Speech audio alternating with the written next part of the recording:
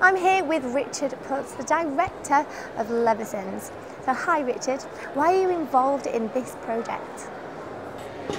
Well, we're an old established company in the middle of London.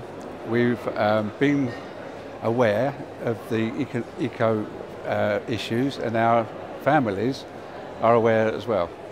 So when uh, Brahms came to us, uh, they were directed to us by the Natural Death Centre.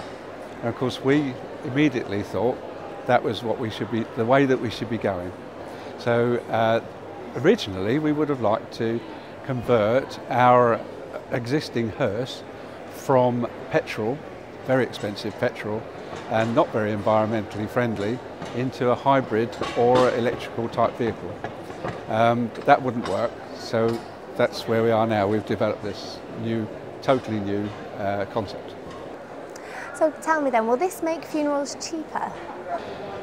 We hope so. Obviously, with the development cost of this vehicle, uh, at the moment we can we can uh, provide this vehicle to our families a little bit cheaper than the, the petrol conventional hearse, uh, and uh, but eventually uh, we hope this to be much much cheaper. Yeah. And what does this say about funerals in the 21st century?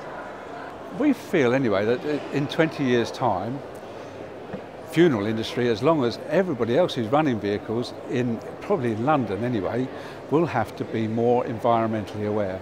Our environment in London is noisy, it's dirty, um, so we should at least be trying to do our little bit towards cleaning the air for the future.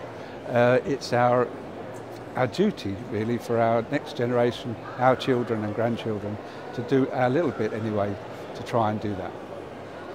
So do you think that this now is the end of the conventional hearse? Absolutely not. No, we, we, we'll be providing that service to our families uh, for as long as they want it. And we uh, pride ourselves really in being able to give our families anything they want, a totally diverse uh, from this kind of vehicle to um, any sort of vehicle that they want. Motorcycles, pink hearse, you name it, we'll provide it. Thank you, Richard. And for more information about Leverton's, please visit their website levertons.co.uk.